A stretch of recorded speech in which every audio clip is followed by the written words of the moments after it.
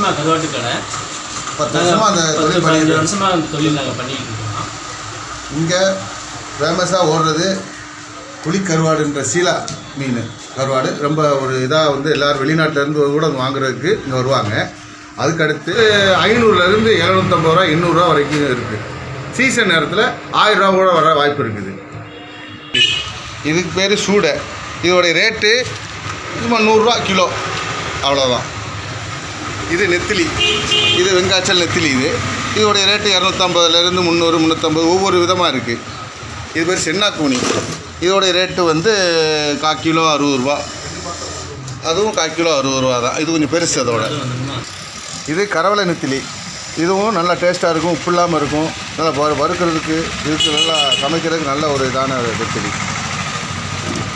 இந்த நெத்திலையும் அதே மாதிரி நல்லா உப்பு இல்லாத தான் இதுவும். எல்லோரும் சாப்பிட்லாம் நல்ல டேஸ்ட்டாக இருக்கும். இந்த நெத்திலையும் அதான். அந்த அளவு ரெண்டும் ஒன்று தான் ஒன்றும் பிரச்சனை இல்லை. இது பண்ணா அதாவது சீலாக்கு அடுத்து இங்கே பாம்பனில் ஃபேமஸான ஒரு கருவாடுனா பண்ணா தான் சீலாவுடைய டேஸ்ட் அப்படியே அதுலேயும் இருக்கும். இரநூத்தம்பதுலேருந்து முந்நூறுரூவா வரைக்கும் இருக்கும்.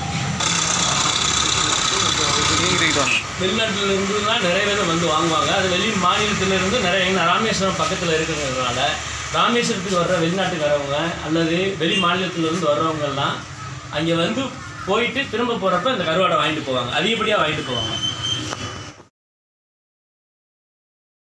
இந்த கருவாடெல்லாம் வந்து கடற்கரையில இருந்து காய வச்சு இப்போ கொண்டு வந்திருக்கிறாங்க. ஆமாம் இவங்க பச்சை மீனுக்கு போக மிஞ்சின மீனாக காய வச்சு இங்கே விற்பனைக்காக நம்ம கொண்டு நம்மள்ட்ட தந்துடுவாங்க நம்ம வந்து விற்று அவங்களுக்கு கொடுப்போம்.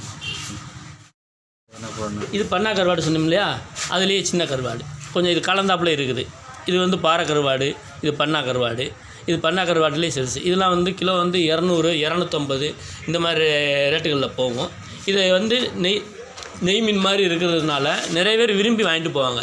அதுவும் குறிப்பாக வந்து வெளி மாவட்டத்தில் இருக்கிறவங்க இங்கேருந்து வேலைக்கு போனாங்கன்னா வாங்கிட்டு போயிடுவாங்க இங்கேருந்து